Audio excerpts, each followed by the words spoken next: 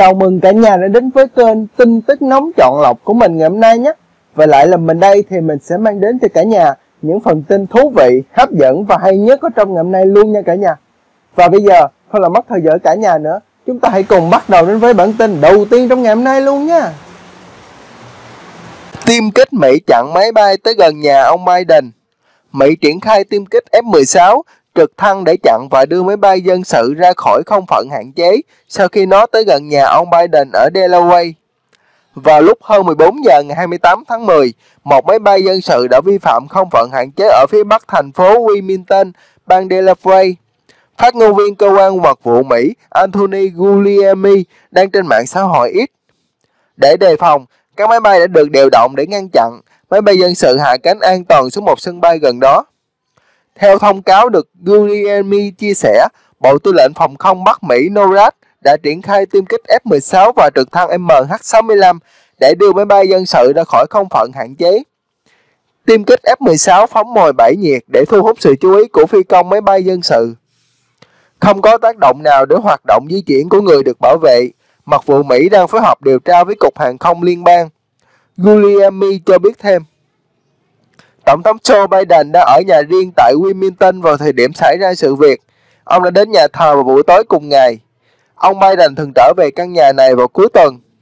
Quân đội Mỹ hồi tháng 6 triển khai 6 tiêm kích F-16 để tiếp cận máy bay cỡ nhỏ Cessna 560 Citation 5 khi nó tiến vào vùng trời thủ đô Washington, hướng về không phận cấm phía trên một số khu vực rất nhạy cảm như tòa nhà Quốc hội Mỹ và Nhà Trắng.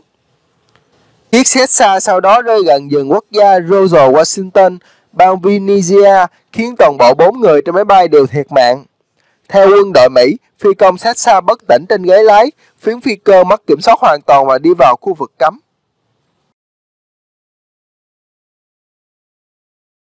Tin kế tiếp, Nga tuyên bố chặn cuộc tập kích UAV của Ukraine ở Crimea. Bộ Phòng Nga tuyên bố lực lượng nước này đã bắn hạ 36 UAV của Ukraine trên Biển Đen và bán đảo Crimea trong đêm. Trong tuyên bố hôm nay, Bộ Phòng Nga cáo buộc Kiev tiến hành cuộc tập kích đêm 28 tháng 10, rạng sáng 29 tháng 10.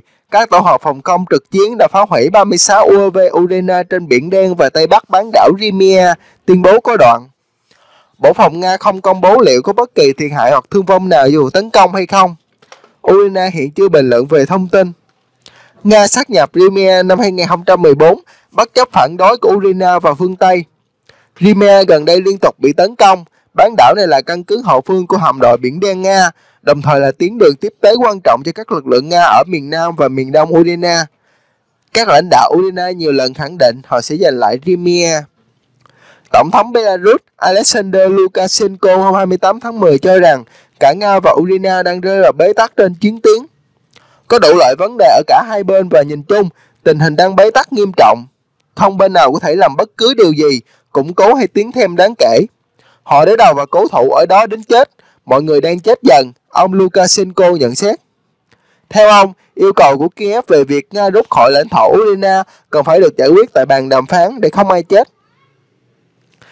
Nhà Trắng cho biết lực lượng Nga tuần này tiếp tục tấn công gần thành phố Adetkan đổ nát ở tỉnh Donetsk và chịu tổn thất nặng nề. Tuy nhiên, chiến tiến động lớn ở Ukraine gần như không biến động trong năm qua, bất chấp cuộc tấn công kéo dài nhiều tháng của Kiev. Tổng thống Ukraine Volodymyr Zelensky hôm 28 tháng 10 nhắc lại tại cuộc họp gần hơn 60 cố vấn an ninh quốc gia kế hoạch hòa bình 10 điểm của ông là cách duy nhất để chấp dứt chiến sự. Theo đó, quân đội Nga phải rút khỏi lãnh thổ được quốc tế công nhận ở Ukraine, đồng nghĩa Moscow phải từ bỏ cả bốn khu vực mà họ tuyên bố sát nhập hồi cuối năm ngoái cùng Crimea. Điện Kremlin đã bác bỏ yêu cầu này.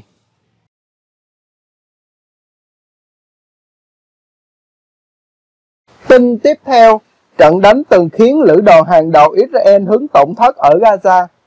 Golani, lữ đoàn tinh nhẹ bậc nhất Israel, từng hứng chịu thiệt hại nặng khi tấn công vào khu đô thị ở dãy Gaza trong trận đánh năm 2014.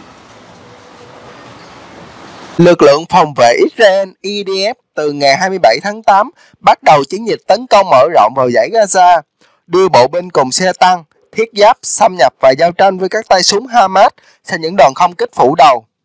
IDF chưa tuyên bố bắt đầu chiến dịch tấn công trên bộ quy mô lớn, nhưng bộ binh của họ nhiều khả năng sẽ tiếp tục bám trụ và tác chiến trong thời gian dài ở Gaza. Với sức mạnh quân sự đứng thứ tư thế giới, Israel được cho là sẽ dễ dàng áp đảo Hamas sau khi phát động chiến dịch tiến công trên bộ. Tuy nhiên, giới chuyên gia nhận định IDF sẽ khó phát huy hết ưu thế về công nghệ trong môi trường chiến tranh đô thị ở dãy Gaza. Khu vực có địa hình chật hẹp, nhiều tòa nhà cao tầng cùng hệ thống đường hầm chằng chịt dưới lòng đất. Mạng lưới đường hầm giúp các lửa chống tăng của Hamas di chuyển khắp nơi, thoát ẩn thoát hiện qua các cửa sập bí mật. Họ có thể luồn ra sau đội hình tăng thiết giáp Israel, khai hỏa một vài quả đạn rồi nhanh chóng rút lui về vị trí an toàn. Quân đội Israel từng ném trả chiến thuật này trong lần gần nhất mọi chiến dịch trên bộ vào giải Gaza cách đây 9 năm để tấn công Hamas. Lực lượng này đã hứng chịu thiệt hại lớn, ước tính hơn 500 binh sĩ thiệt mạng và bị thương sau 6 tuần giao tranh. Một trong những trận đánh khốc liệt nhất trong chiến dịch diễn ra tại quận Sejazia, đô thị có diện tích khoảng 6 km vuông nhưng có tới gần 100.000 người sinh sống. Đây là một trong khu vực có mật độ dân số cao nhất ở giải Gaza và được Hamas tận dụng làm cứ điểm phòng ngự. Trận đánh bắt đầu vào ngày 19 tháng 7 năm 2014, hơn một tuần sau khi Israel đưa quân vào giải Gaza. Lực lượng tiên phong của IDF là lữ đoàn Golani, đơn vị lâu đời và thiện chiến bậc nhất ở Israel. Golani là một trong năm lữ đoàn lục quân của Israel được thành lập từ năm 1948 khi chiến tranh Israel-Arab nổ ra. Lữ đoàn Golani là đơn vị giàu thành tích hàng đầu của IDF, từng tham gia hầu hết các chiến dịch lớn của quân đội nước này và đều được nhiều chiến công. Đã có ba chỉ huy của lữ đoàn bổ nhiệm làm tham mưu trưởng IDF. Dưới sự dẫn dắt của lữ đoàn Golani, ngày đầu tiên của chiến dịch tiến công vào giải Gaza diễn ra tương đối thuận lợi. Giao tranh chỉ bắt đầu leo thang vào chiều tối khi nhiều tay súng Hamas bất ngờ xuất hiện từ các đường hầm để tấn công tiên phong của lữ đoàn Golani đang tiến vào quận Syria. Lực lượng Hamas trong cả ngày hôm đó đã ẩn nấp rất kỹ trong đường hầm, khiến binh sĩ Israel hầu như không thể xác định được vị trí của đối phương. Họ chờ đến thời điểm thuận lợi nhất để công kích vào đội hình lữ đoàn Golani. Số liệu của Liên Hiệp Quốc, ít nhất 70 người Palestine đã thiệt mạng trong trận đánh tại Sejaza. Chỉ một phần nhỏ trong số đó là thành viên Hamas. Dù sở hữu quả lực áp đảo, phải đến ngày 23 tháng 7, tức 4 ngày sau khi mở chiến dịch vào Sejaza, IDF mới hoàn toàn kiểm soát được khu vực này.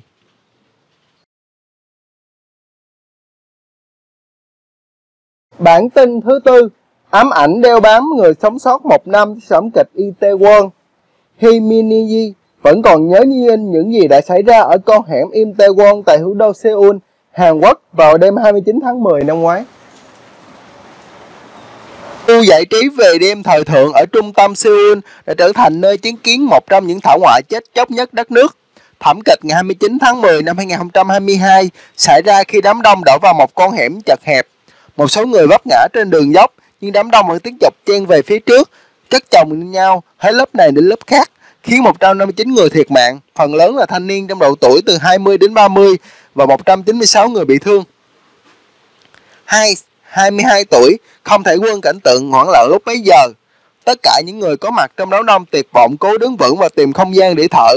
Mọi việc nhanh chóng vượt tầm kiểm soát.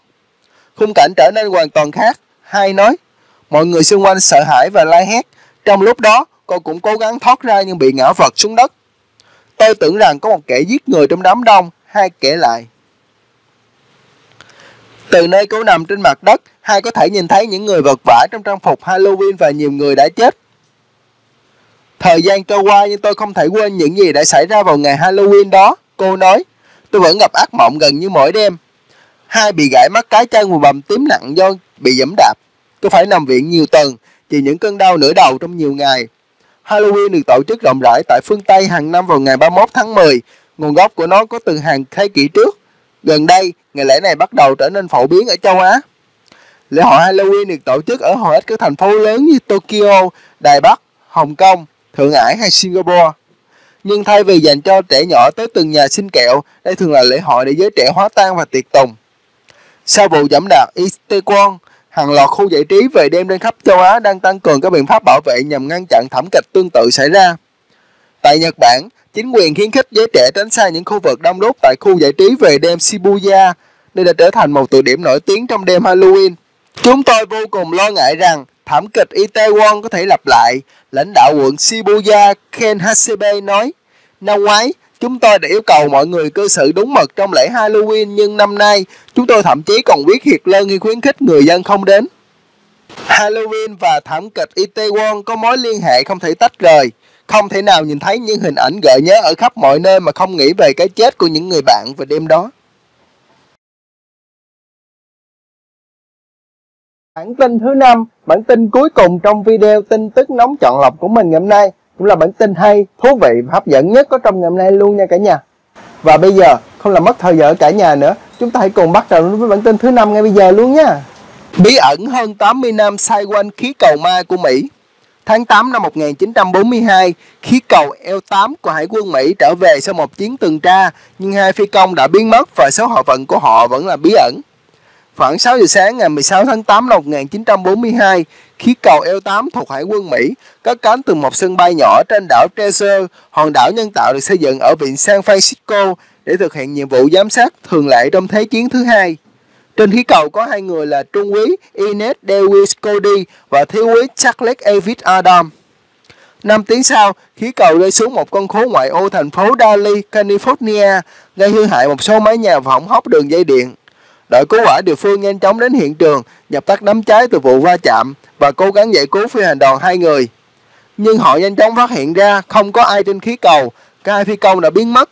Báo chí đặt treo 8 biệt danh khí cầu ma.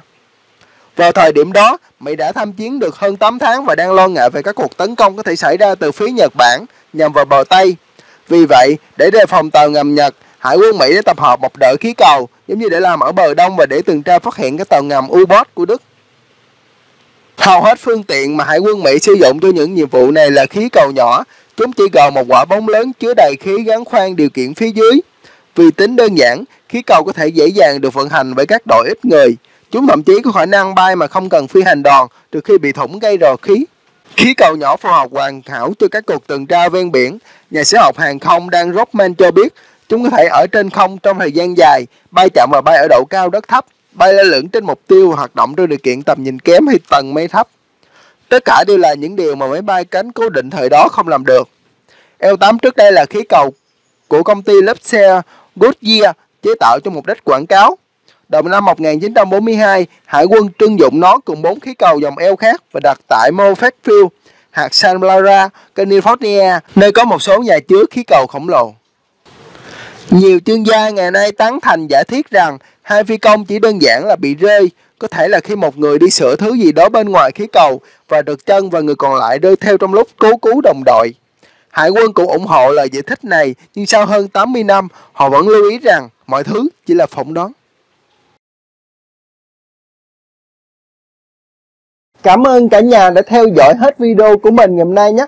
Để ủng hộ cho kênh, cả nhà hãy cho kênh của mình một like, một chia sẻ, một đăng ký, cũng như là bật nút chuông thông báo phía bên dưới để nhận được những thông báo khi kênh của tụi mình ra video mới nhất nhé.